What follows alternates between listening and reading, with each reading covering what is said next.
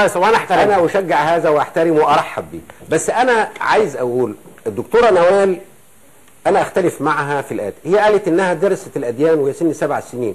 يبدو إن في سن سبع سنين صعب إن الواحد يعني يستوعب؟ الأمور. لا، لا. أنا سمع أنا عايز أقول الدكتورة نوال كان المفروض تسأل أهل الذكر. أنا سمعت مرة من الدكتورة نوال في مؤتمر من المؤتمرات تقول ليه ربنا يتوب على آدم وما يتوبش على حواء؟ ان ربنا متحيز للذكر ضد ال- الأنثى.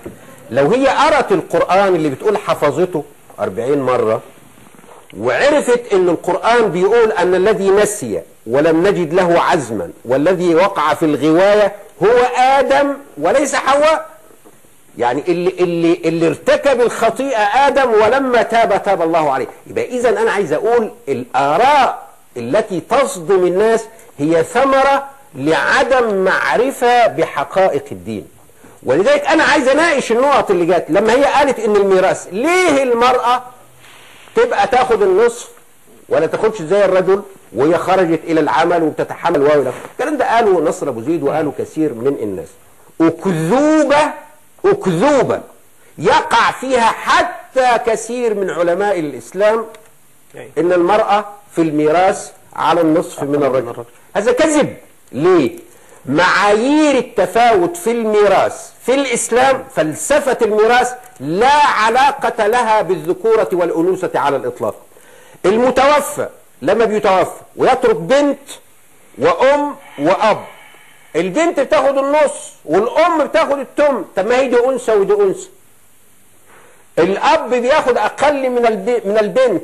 يعني البنت ولو رضيعة تاخد أكثر من... لما يبقوا في بنتين ياخدوا تلتين التركه ولو في 40 ذكر يتقسموا في التركه إما إيه معايير الميراث في الإسلام. هو ده بقى اللي إحنا عايزين نقوله للناس لأنه الناس مش فاهمة وعايز أقول في كثير من الإسلاميين ما هم مش فاهمين.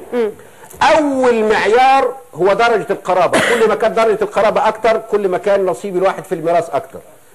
المعيار الثاني ودي حكمة لما الواحد يعرفها يعرف حكمة ربنا سبحانه وتعالى.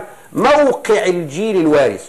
كل ما كان الجيل الوارث صغير في السن يستقبل الحياة كل ما يبقى نصيبه في الميراث أكبر. وذلك الإبن يرث أكتر من الأب. طب ما هو ده ذكر وده ذكر. لكن ده لأنه هيحمل أعباء حياة وده بيولي من الحياة.